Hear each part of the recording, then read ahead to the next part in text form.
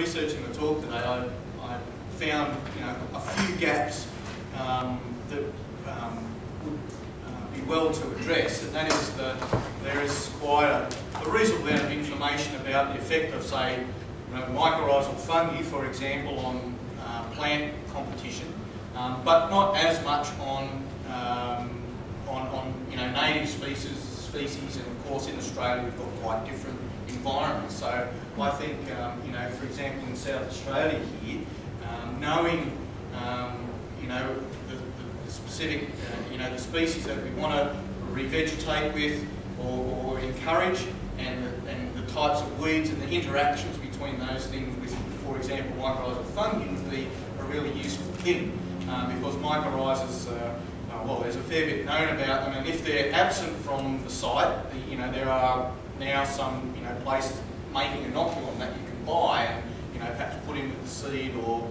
into the nursery stage. So there's a practical, something practical to do about that, but that specific knowledge about the different weeds and grasses, I, uh, it, I, I think, you know, could do with some more work.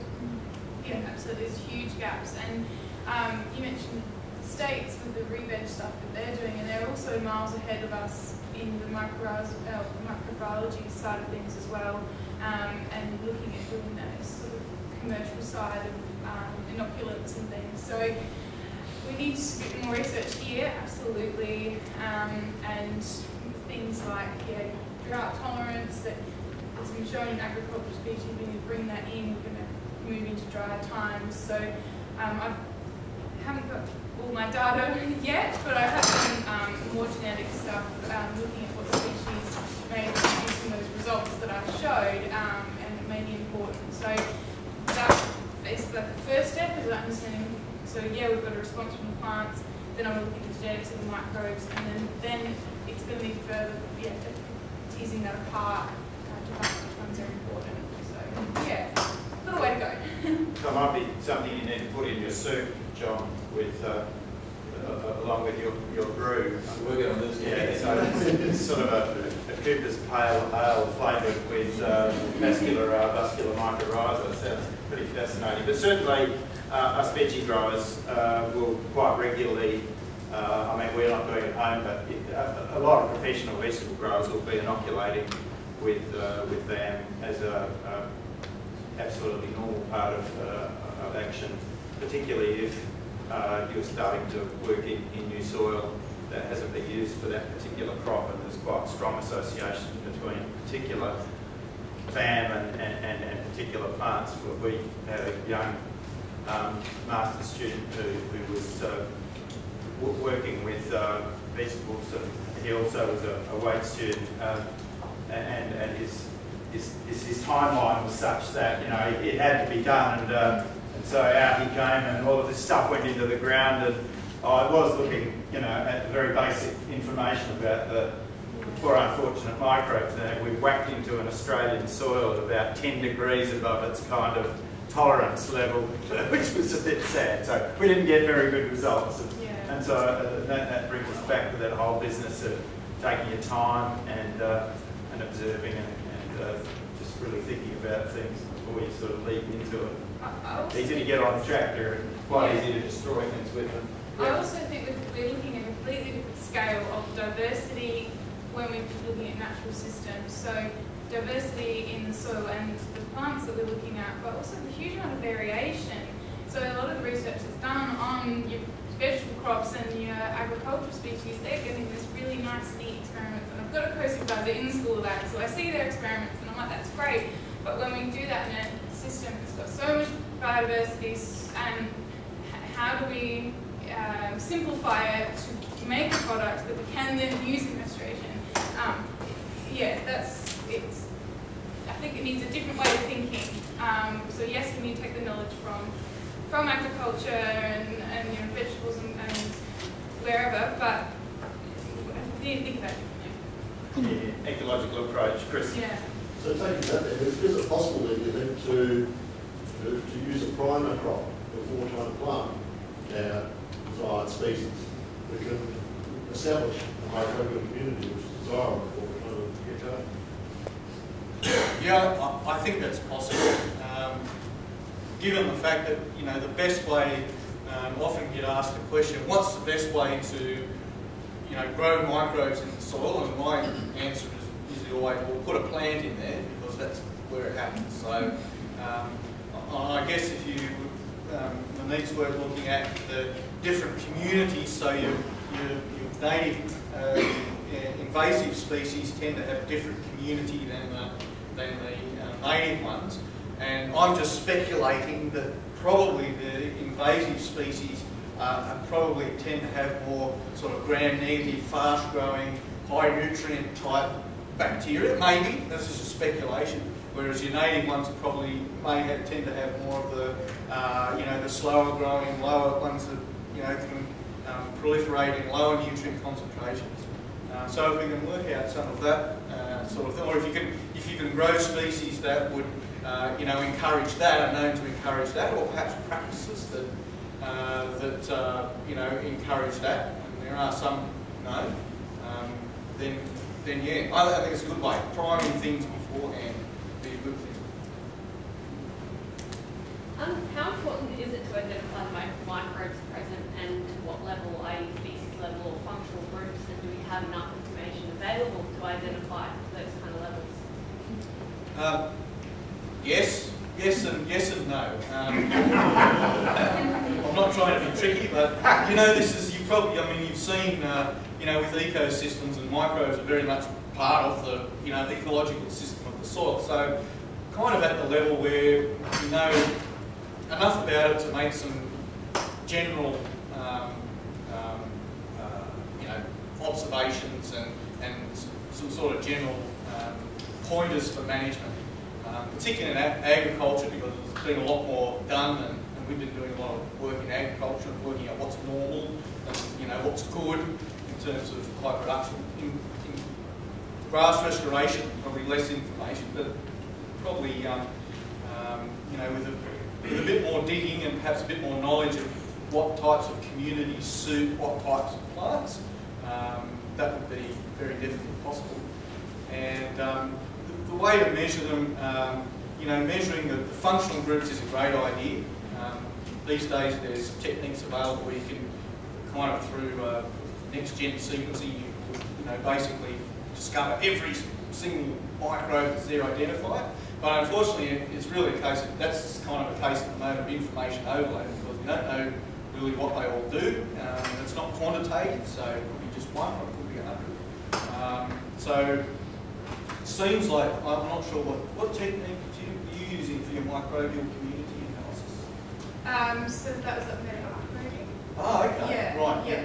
So again, yeah, I'm, not, when I said species, it's probably not the right term. Um, when we're talking about microbes, it's, um, what is it, taxonomic unit. Um, uh -huh. yeah, yeah, So I haven't got the data, but yeah, I will be probably going functional group because, because we don't have that information. But I do have the species information there, but yeah. Look, um, the method that we use a lot, so we've got lots of different methods that we use, but a common one um, is able to look at pretty much the, looking at the genet, uh, genera level, and it's called PLFAs if anybody's familiar with that. So kind of, you can get down to the uh, the genus level, um, and you know, there's biomarkers that you know are related to that, and um, it's not it's not 100% perfect, but then there, there, really is there's no perfect test to do you know analysis for anything.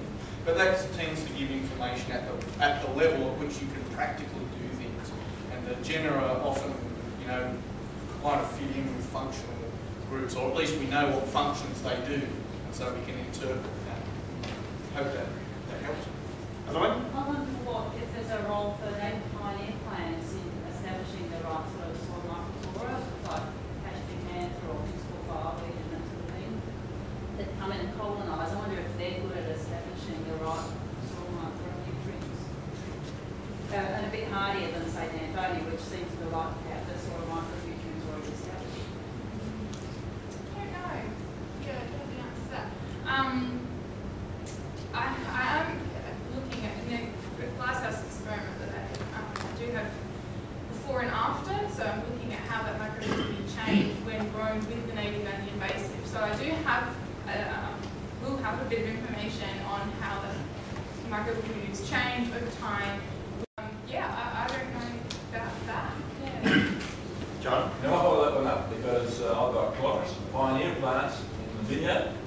two plots of vines growing in the forest. I've got one plot that's growing with uh, introduced grasses. When I add my inoculums uh, to the vineyard, and now I have two plots, it doesn't really matter much, these things are pretty mobile. Um, yeah, that's when my vines double, treble their production. Um, why? We did a leaf analysis of the um, two plots, um, the florists. Um, they were virtually identical, strangely enough. Nothing like what the nutrients were in the soil tests, um, but um, they're very consistent and totally different to the um, control. They're a totally different spectrum of uh, nutrients. So, can you explain that one? What's happening? Oh, well, yeah, look, um, it's, you're, you're applying a microbial inoculum to the It's, soil. it's a compost uh, tea Oh, yeah. broken down and Okay. they digest it and then. uh, And then you've got your, your native uh, um, colonising plants in the vineyard. in the yeah, right. vineyard, yeah. So look, there's a lot of um, uh, um, uh, sort of interesting work done on um, the interaction between plants and microbes, and you know, as we, I, that bit of an example I gave there, how you know a, a pathogen, um, in, that- in that case, a pathogen caused the plant to produce malic acid, which stimulated the growth of a microbe, which produced another compound, which then you know did something else. And so um, there are, um, uh, you know, anything that you, you put on that community, there are effects that it has on the, you know, the soil nutrient cycle, um, and also on, um, you know, the, the, the um, types of compounds that the plant roots are, are then putting out. This is kind of like a two-way communication. like. And uh, so, yeah, it's, it's quite possible that it would affect the, um, the, the nutrient uptake. Just for example, in case of mycorrhizal fungi, for example, you're, um, you know, what you're doing is um, increase, uh, increasing uh, mycorrhizal fungi, prob- probably going to have um, higher zinc, for example, zinc uh, uptake in the plant. Pho- Phosphorus as well, would be zinc and possibly other things. So that's just one example. Um, uh, of- of that, that could be And one would think it'd be nitrogen, but no- nitrogen just doesn't move. Uh-huh, There's some yeah. other things like uh, minerals that you might think of, that's sort of Okay. that. So Yeah. quite weird what's happening. Yeah. Yeah, there's that whole Let, let, let's, let's park that one and, and grab a couple of others. Uh, Adrian? Just ask a question, how the microbiology feel when you say we had the soil testing? You people basically got sort of a monopoly in South Australia with all that data. Can you work out a way to make that sort of generically available? I mean, you know, the data goes back to the person who pays for it, obviously. But, you know, if that data could be put out in a sort of a generic way, which the person who doesn't do, that would make a hell of a difference to the rest of us who probably aren't going to do that to get a picture of what's going on. Not that it matters, but it just looks odd that if we don't, interesting, we've only got one or two people who are doing it here, and, and potentially could easily, you know, mass those out a little bit to. Yeah, so, is so bench, benchmarking and, uh, and, yeah. Yeah, look, I'm, I'm all in favour of that. We've been, there, there's a real need for, Yeah. you know, working out, you know, what does this set of, you know, what's normal in this situation, what's good and what's bad, and, you know, we do a bit of that ourselves, but, you know, it's, it's a big job, and, uh, like, we, we would love to have, uh, you know, an organisation or, you know, you know, research or something come along and make use of it to be able to interpret that, um, that properly. It's a, it's, you know, it's a big job and it needs a bit of, you know, kind of know-how applied to it. But yeah, I think that would be great. Can I just add to that? Um, I'm just interested to know how people are actually getting their information. So, um, to all the, I guess, practitioners in the room, where are you getting information and how would you like that information presented? So, would, yeah, um, you know, if I put my research up as a website, is it something that you would Google? Um, is, is, I mean, as scientists, we sort of publish papers and there's a pub, publish or perish, so, you know, expected to do that, and that's obviously not available to a lot of people, and um, reading scientific literature may not be easily um, applied. So I'm interested to know how you're getting your information and how you'd like that information presented. Uh, NRM newsletters, Okay, yeah, And because of they come course, out regularly yeah, online. all right, and the grass is green, of course, yeah.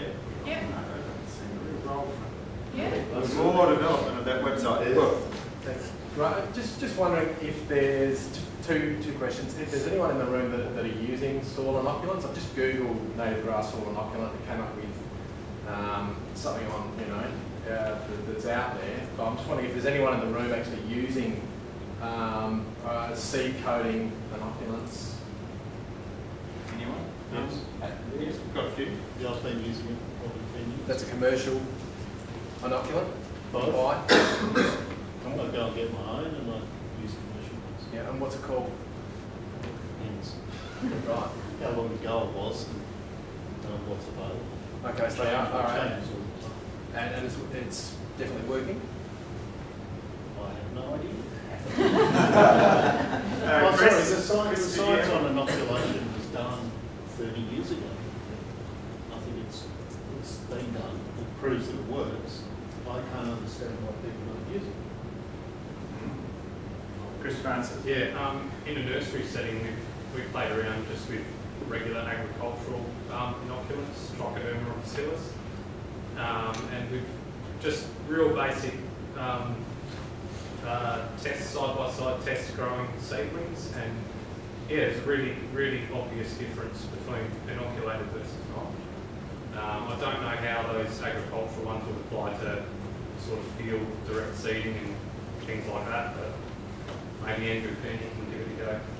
In our trial sites, we did include, I couldn't tell you exactly what species, um, I don't know if Liam can remember. Glucoplating, which is Liam Claydon. fibres of trichoderma. Yeah, so that's not, I don't know, I'm not professional, but that's not actually a mycorrhizal fungi. No, it's a yeah, type of fungi, but Yeah. yeah, one that's yeah been quite well indicated in doing useful things. So antagonists, as you were saying before, can, particularly with the carrot rock fungus, it's been trialled to penetrate that hyphae and kill the Yeah, so it carrot knocks off the baddies. But we've also had, I did my honours on that species with native grasses, and um, we had some good growth result differences. working it. And I think another one was what you just said, Pistillus, or Uh, bacillus? sounds like it. I think that was another one of the species that was included as well. Yep. Anyway, whatever it was that we had, now looking at our trial sites three years later, the ones that had the inoculant compared to the ones that didn't don't look any different. Above ground. No idea what's going on underground, so we haven't gone into that. But above ground, with the species we used, there's no any difference. That's the thing with these sorts of things, and you guys might be able to attest to that. It's not going to be like applying fertilizer where you see an exact difference most of the time. It will be the functioning of the ecosystem rather than visual. So that it's a bit economically harder to tell the difference. And as I was saying to Andrew before, if you're investing a lot of money, sometimes it's better to see that difference. But we need more science. Just another student in the lecture theatre. Hardly makes any difference sometimes. We Uh, can measure it now too, so you know if you can't see it, you can you know you have the ability to measure, the, you know, have a look at the community as well. Uh, quick one from In our nursery, we use a long-pipe fertiliser from Schmaltz. It's got about eighteen or twenty different things sort of attached to it. So when we say across about ten percent more than the normal stuff, sounds like a good idea to use it. I can't tell you whether it works or not, but certainly hasn't caused any disasters. Yeah, but that's just basically slow release fertiliser. Yeah. Yeah, yeah. Cool. I, I- I'm just anxious that we, um, that we, that we sort of tie things up. We've got three minutes to kind of wrap the intellectual side of it before we retire to lunch and then disappear off into the field. So uh, it's a question of uh, what, well, these were some of the things we parked yesterday. Um, I don't know if you can read it. Chris's writing's not actually terribly famous for its legibility. Um, so, so what are, the, what are the what are the key things that we want to take home with us uh, today? What are the you know are there some burning answers to you, that your brains uh, require uh, in order to go on with your work? Uh, what do you need? Yeah, well, it's the first question, the options for uh, weed control, grassy weed issues. And I think, Sean, in some of your slides, you had tri- tried a few different um, applications of herbicide treatments. What do you? Oh, was it Andrew? Was that some of your Yeah, yeah. sites? Okay. Um, yeah, do you actually have a list of what you've tried, what worked, and what grass? Okay, so a phone call would probably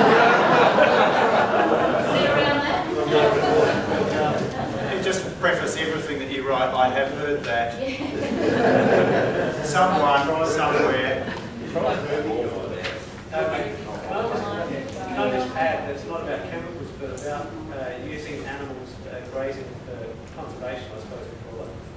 Um, what we do in Cromer, this isn't by any means a broad acre site, 30 hectares chopped up into about 17 lots, so some of them are as small as a couple of hectares. We put in 400 sheep for as little as a day to three days, and then move into the next one. 400, so that's like, you know, 100 a hectare or something. I think there was a mention 25 a hectare the other day. Minimum. Yesterday, something minimum, yeah. And we're, we're like 100, 150, 200, as many as you can possibly fit in there, and just reduce the amount of time. There's no preferential grazing, they just go, "Whoa," and, and then into the next one. Whereas if you give them enough time, and they're, oh, I don't like that one, I like that one, and they start getting all the nice stuff that you want to keep. I, I, I- we, we have to run out of time, but I just wondered if Bob Myers, whether we, whether we could hear him if he wanted to say something. He did. I just, I feel that, you know, it wouldn't be a complete conference without something from Bob. Just, just say I'm very sick if you don't want to say anything else. What, what do you reckon? Was it a decent, decent sort of thing? The, the native grass resources group has actually published something on um, because um, I did a little bit of literature research on oats and someone's done the work on oats, so why not, not have a look at what oats do? Do they have an allopathic effect? Well, they certainly do. So why would you want them to be in your revegetation site? Um, so you would, you would take whatever action you could to get rid of them. And there are a couple of chemicals, specific grass selective chemicals that can do that. So, so that's, that's one of the things that, the other thing that also the Native Grass Resources Group newsletter um, published, of these will be done the last uh, 18 months, um, was a reference to Paul Gibson Roy's articles, um, his, his look at what, there's a lot of attack on removing topsoil. So, so sure, a whole lot of, um, of everything that Monique and, uh, and, uh, uh, Everyone has said. Yes, sorry. Um, uh, I've said about, um, about what was in those soils, um, certainly disappeared when 500 uh, millimetres of soil goes a 14 hectare site. That's a hell of a lot of removal of all, all the good guys and the bad guys that are active in that soil. However, from Paul's um, soil sampling and testing that, that has been done, and that, that article in the newsletter refers to that, um, they just reinvaded the, the new site as all the complex vegetation um, came up, the compositing and the hayseed and the grounding and whatever, and they, were back. So just, a couple of things. So that, some some people are publishing stuff and we ought to keep an eye on it, just like uh, Sean mentioned, you know, he found that article on Paul Gibson Roy's work in 2010 on that data. So we should be looking a lot more, which we're trying to find out stuff. So I like Monique's thing about uh, the battleground, you know.